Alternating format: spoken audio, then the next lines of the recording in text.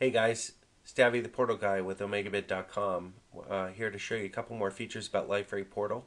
We're going to blow through the basics of uh, the controls on a portlet and uh, the reason I say that is because there's sort of a lot of detail here that would be tough to squeeze into a couple minute segment. So we're going to get in uh, much deeper on some of the stuff when we talk about how we're going to stylize the site and how we want to manipulate content on the page. But one of the things you'll notice when you log in as a, uh, a privileged user in the system is that you get these controls on the top of the portlet. And uh, what they do is let you do some pretty neat things with the portlet itself to set the rules for um, this guy, for example. So if I pick the look and feel portlet, uh, link, excuse me, it lets me do some important stuff. For one, I can not only set the title that's the equivalent of clicking up here, but it lets me set it if I have the portal set up to support localized instances, uh, sites that would represent different language versions of the content, then I can set those different versions of the title text here and it will apply accordingly when a, when a user visits and indicates that they would prefer that version of the content. There's a couple ways they can do that.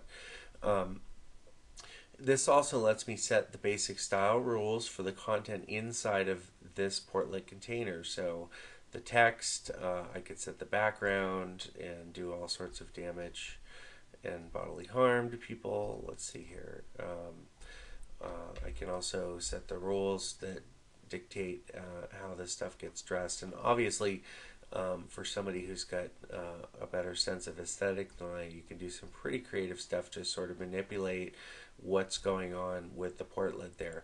Um, another useful cheat is uh, margin and padding is particularly handy. One of the cool things about the portlets is you can turn off all of this dressing around the outside of the portlet and basically just have it be uh, a hole in the page that represents content. And we can do all sorts of neat stuff inside of that hole to get creative with the page layout. Um, when you do that, sometimes it's useful to be able to cheat the position of the portlet a little bit to make it work better within the confines of how you want to organize that stuff on the page. And so this tab is particularly useful for manipulating that stuff.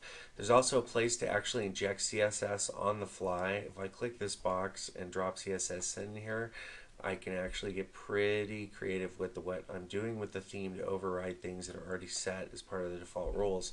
Now, there's lots of ways to get uh, creative with the styling of the site and also some neat tricks for um, developing the theme uh, in line in the context of the portal page and then baking it into a theme package once you're ready to roll that stuff up. We'll talk more about that later. Um, Liferay has WAP support, which is awesome if you are uh, interested in building site content that's going to be consumed by um, users on a WAP uh, style device.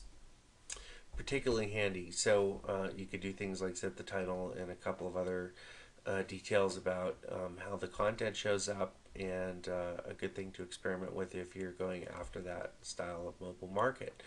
Um, another point of interest under the controls is the configuration and this lets me set some important stuff.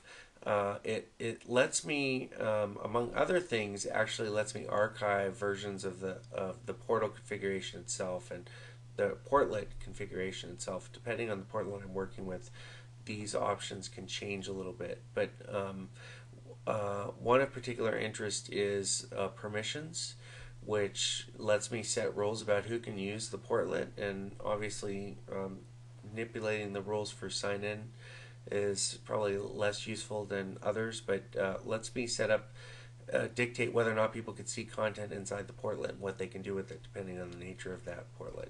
Sharing is also cool because uh, it lets me drop portlet content in elsewhere using a snippet of JavaScript. And once we start to create more content on the page, it's going to be very useful for propagating that content to other sites. So all uh, important places to poke around and get more familiar with.